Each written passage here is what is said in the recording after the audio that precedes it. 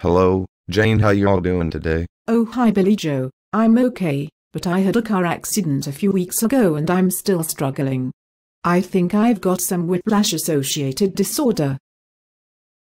Well, I'm a physical therapist, you know. I know, I saw you last year.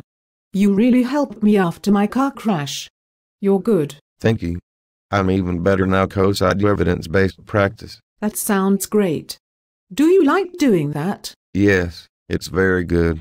Except, well, I feel disenfranchised and am no longer sure of sure of my professional or personal identity.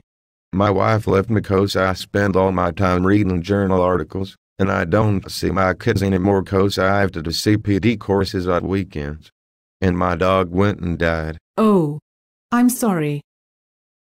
So why do you do it? Well, it's how modern healthcare works now. And it is in the patient's best interest, of course. Also, there are some very strong characters in charge of it and they say we have to. If we don't believe in it, we get belittled and ridiculed. So, like the church? Er? Yes. I suppose. Like the church. Well, uh, anyway, you are really good and I wonder if you can help me like last time. Well, what I did last time doesn't work anymore. But it worked last time. I know, but I have read some randomized controlled trials and some systematic reviews since then and they say that what I did doesn't work anymore. But I felt great last time, and was eased of my disabling pain. I was able to return to work and provide for my family. I felt fulfilled and was enjoying life, until this last car accident. Yes, but that was before I read the research papers. Now it doesn't work. Also, I don't believe what you say anymore. What? Er? Well, maybe it's me that I don't believe. Er? I'm not sure anymore.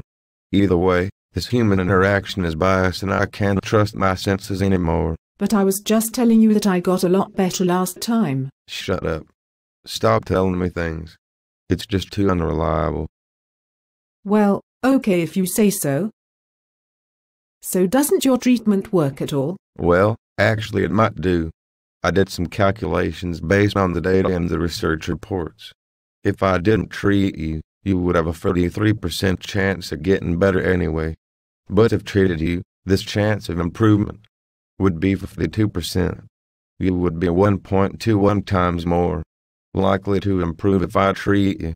The absolute benefit of being treated would be 22.26%. The treatment would increase the chance of improvement by around 21%.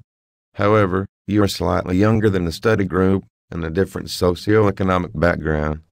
Considering this, and integrating the data with your own context and my clinical experience, I'd say that the relative benefit has shifted slightly, but the absolute benefit might still not be clinically significant, assuming the outcomes of interest are validated for your demographic and clinical problem, and today's representative of your average day in terms of your ability to provide coherent and meaningful responses to any psychometric tool I may use. Oh.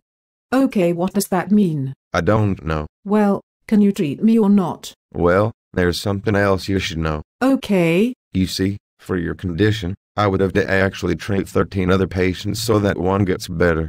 That is the number needed to treat. Well, how many have you seen so far? Well, since I did the calculation, I've seen four. And do you have any others booked in? Yes. By next Tuesday I would have seen 13. So can I come first thing Wednesday morning? Yes. Then you would have a 100% chance of getting better. Great. Please book me in. Okay, oh.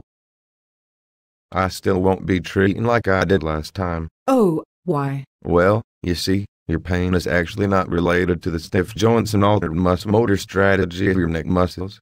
It's more to do with your brain. My brain. Yes. You see, some very clever people looked at the brain of a person and saw some activity in it where they had pain. But doesn't everything we do as human beings involve direct association with brain, mind and consciousness? Erm, maybe. I haven't read that stuff though. Well, okay, which part of the brain was it? I think it was the bit that is responsible for pain. Okay, so when that person experienced pain, the part of the brain that is responsible for experiencing pain was active. Yes. It's exciting, isn't it? MMMM. Oh, wait. Actually, I read that your pain has something to do with your immune system. My immune system. Yes. Oh. Okay, well, is that good evidence? Damn, yes it is.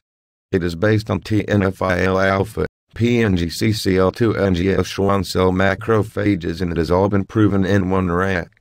Or a shrew. Fish.